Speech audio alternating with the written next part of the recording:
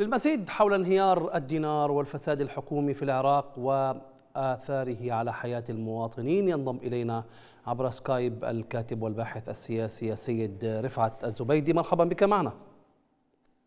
أهلا ومرحبا. حياكم الله. حياكم الله. يعني أزمات اقتصادية متتالية يعيشها العراق منذ عام 2003 آخرها أزمة انخفاض الدينار والحكومة لديها تبريراتها بالخصوص كما تعلمون. لهذا الوضع الاقتصادي المتردي وخاصة لموضوع انهيار العملة. كيف آه، تقيمون تبريرات الحكومة وتعاطيها مع هذه المسألة؟ نعم شكرا جزيلا. آه، السلام عليكم وعلى السادة المشاهدين لقناة الرافدين. حقيقة أنا كنت أتمنى أن يكون معنا أيضا خبير اقتصادي لنتوسع في البحث في هذا الموضوع.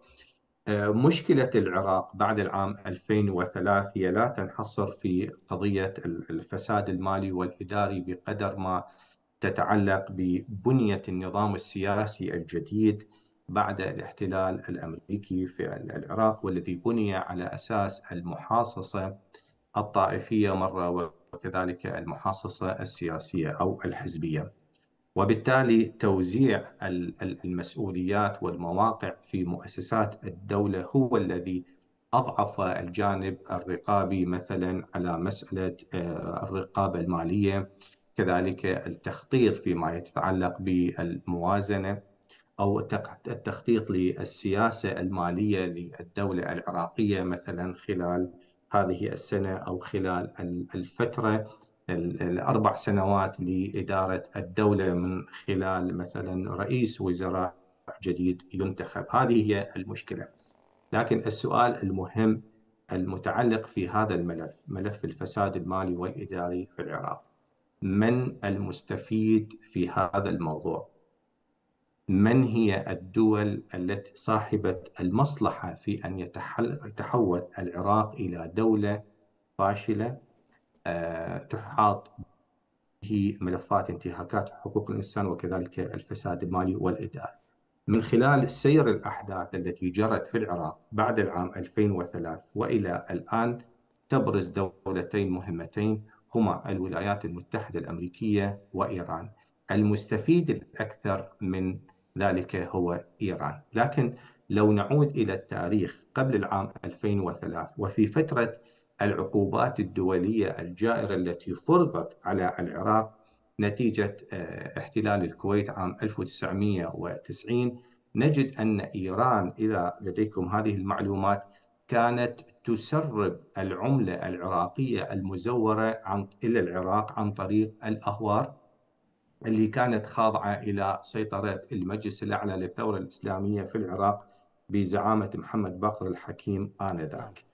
وكان يتم تهريب كذلك الدولار بل حتى الذهب العراقي وبسبب آه، ضعف آه، قوة نظام صدام حسين آنذاك اللي أنهكت حقيقة العقوبات الاقتصادية نعم. استطاعت إيران أن تنجح في هذا يعني تاريخ إيران في هذا الجانب الاقتصادي لتدمير الاقتصاد العراقي وبالتالي فرض الهيمنة على الاقتصاد العراقي هو يعود إلى الممارسات الإيرانية نعم. السابقة بذلك نعم. إلى تخادم المصالح الأحزاب الإسلامية الحاكمة نعم. طيب هذه الكارثة الاقتصادية في العراق التي تزداد عمقا بسبب الفساد وتهريب العملة يعني ما بين أدوات إيران وبين مظاهر هذه الأزمة آه، أستاذ رفعت نريد أن نتحدث أكثر في الحقيقة عما تقوله Middle East Eye على سبيل المثال وصحف أخرى كثيرة.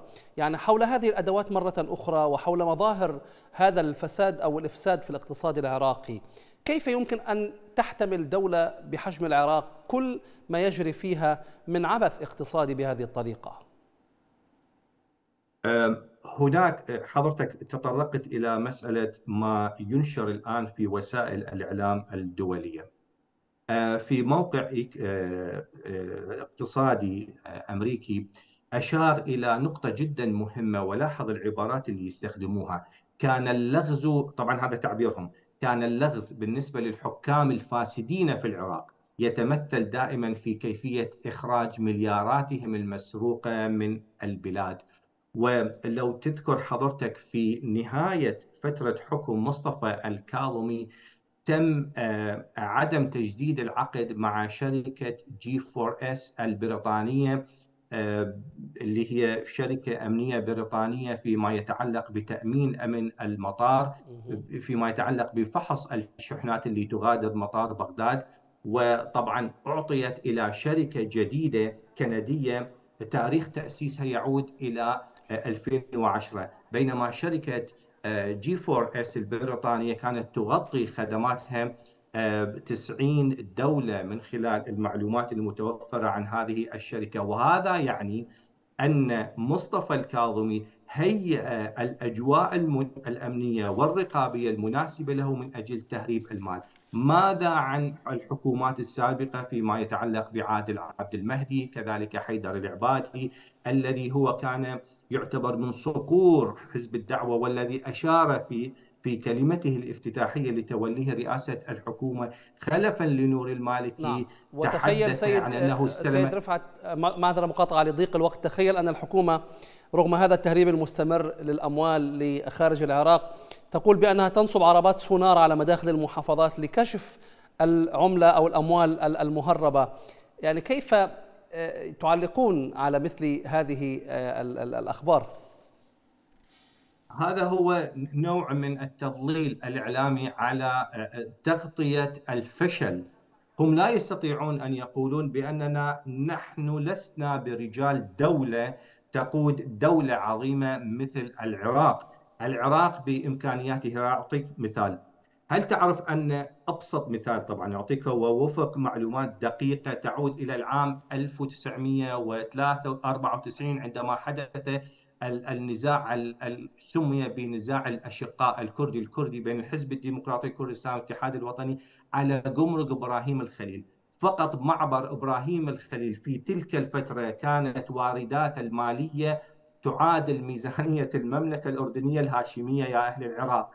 هذا يعني أن من استلموا العراق بعد العام 2003 هم ليسوا برجال دولة هم مجرد رجال حسينيات مع احترامي إلى هويتنا الإسلامية أو المذهبية لكنهم ليسوا برجال دولة ولذلك تراكم هذا الفشل وبالتالي سيؤدي إلى هذا الوضع نقطة أخرى نعم. أن الولايات المتحدة الأمريكية الآن لديها نظام رقابي متشدد خصوصا بعد الحرب الروسية الأوكرانية وهذه نقطة مهمة نعم. وإذا لاحظت أنه فضيحة القرن أو سرقة القرن يتعلق بهيئة الضرائب يدخل ضمنها شركة صينية يعني نعم. المحور الصيني الروسي الإيراني الذي يهدد المصالح الأمريكية معقولة أمريكا اللي, اللي ضحت بجنودها ثلاثة آلاف نعم. وكذلك أموال نحن الدافعي الضرائب الأمريكان تذهب هكذا السودان بدون أن تكون لها نعم إجراءات؟ نعم. ويبقى هذا السؤال مفتوحا لا نجيب عليه في اللقاءات المقبلة